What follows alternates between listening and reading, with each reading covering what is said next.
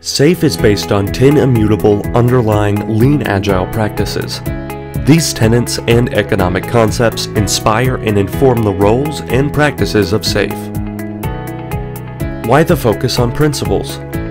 Building enterprise class software and cyber-physical systems is one of the most complex challenges our industry faces today.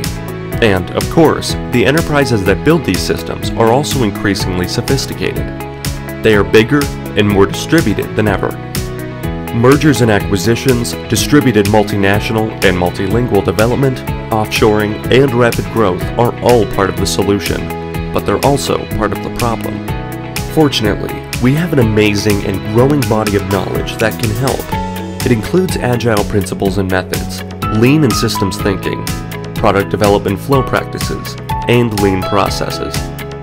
Thought leaders have traveled this path before us and left a trail in hundreds of books and references to draw on. The goal of SAFe is to synthesize this body of knowledge, along with the lessons learned from hundreds of deployments this creates a system of integrated, proven practices that have improved employee engagement, time to market, solution quality, and team productivity. Given the complexities, however, there's no off-the-shelf solution for the unique challenges each enterprise faces. Not every SAFe recommended practice will apply equally in every circumstance. This is why we work hard to ensure that SAFe practices are grounded in fundamentally stable principles. That way, we can be confident the practices apply in most situations.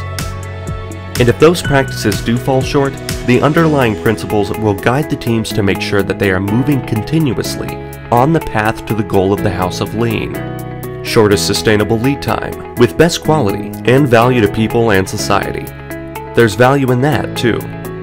SAFe is based on 10 fundamental concepts that have evolved from agile principles and methods, lean product development, systems thinking, and observation of successful enterprises.